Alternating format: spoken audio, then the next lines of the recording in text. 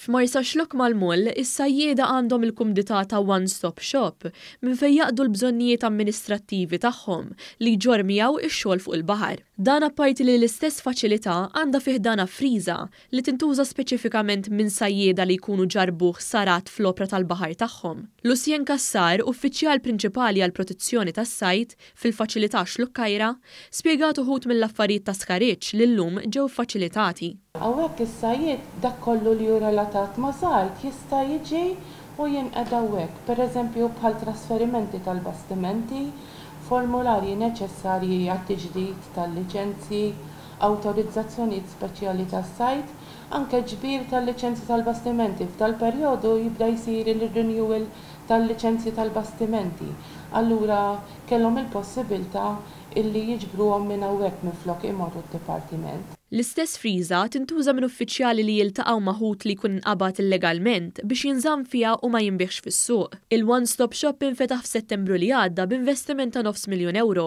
u jservi wkoll bħala sors ta' informazzjoni għas-sajjieda dwar applikazzjonijiet ta' fondi.